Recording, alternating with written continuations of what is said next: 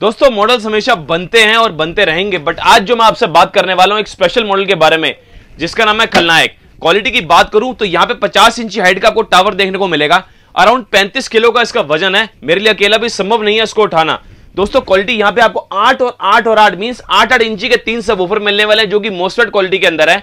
यहाँ पर देखें, आपको वॉल्यूम कंट्रोल बेस ट्रेबल और दो माइक का स्लॉट मिलने वाला है। बोनस फीचर साथ में मिलने वाला है आपको एक कॉर्डलेस माइक क्वालिटी इतनी ज़बरदस्त है hello one two three four check hello बहुत ही भारी भरकम और आउटडोर डोर के हिसाब से बहुत ही ज़बरदस्त लाउड स्पीकर है। होम थिएटर यूनिट में इसको यूज़ कर सकते हो, ऐसा मल्टीमीडिया यूनिट है और हीट सिंक तो इतनी पावरफुल है कि आप कमर्शियली इसको दोस्तों बहत्तर घंटे लगातार चला पाएँगे।